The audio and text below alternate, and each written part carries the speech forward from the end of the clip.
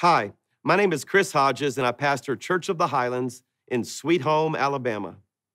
The season of Advent is such an incredible opportunity to lean into the experience of anticipating Christmas, the moment that Jesus, the light of the world, came to earth to bring salvation to those in darkness.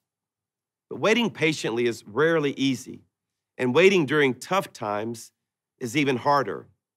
If we're being honest, most of us have had seasons in our lives when waiting felt like a long, dark winter. And maybe that's where you are right now. Waiting and waiting in what seems like darkness for the light to shine, and then waiting some more. But let me encourage you today that the darkness won't last forever. We think of Advent as the time of waiting, but the word Advent actually means coming.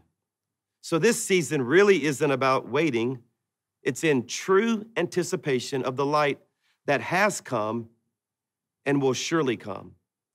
So don't lose sight of what you're waiting for.